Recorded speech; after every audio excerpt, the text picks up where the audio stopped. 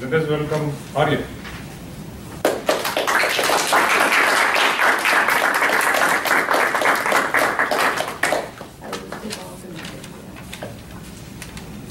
Um, hi, my name is Aryan Dalal. I'm in seventh grade at Carnegie. I was born on March 19, 2002 in Toronto, Canada, and I moved to the U.S. when I was in kindergarten and started at Cedar Fork Elementary School. After that, I continued on to West Cary for only sixth grade, and then I moved to Carnegie for seventh grade. A funny incident that happened to me over the summer of 2012 had to do with me being underweight. Two years ago, we went to Las Vegas with my dad's friends. There, the kids went ziplining, but at the end of the zip line, I got stuck, and because of my low weight, I couldn't move anywhere.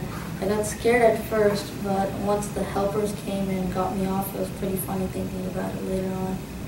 One of my main fears is public speaking, so this session helped me reduce that fear a little.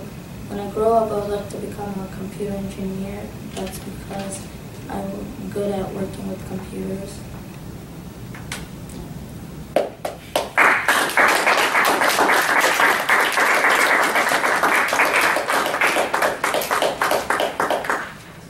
Excellent job, Aryan.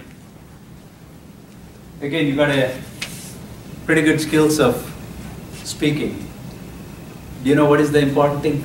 Tell me, you guys, what do you remember about him when you go home today? What What are you guys going to remember about him? Yeah, go ahead. Abhinav? Oh, um, what he did was like when he spoke, he was like pretty clear and he had good pronunciation. No, I don't think you're going to remember that. You're, yeah. Ziplining. Yeah, right? Why do you remember that? Why do you remember that? Yeah. It's really funny. It is, right? Yeah. Right? I mean, it, you need to have a lot of courage to come here and make fun about yourself. Right? I'm going to remember him. When I say after two years, Aryan, you are the guy who gave the speech there. Because humor. Right? So when you make fun about yourself, right? When you tell a humor about yourself, people will remember you. It is very difficult to do, right? He made you guys laugh, right? That's one of the good things. Keep it up, right?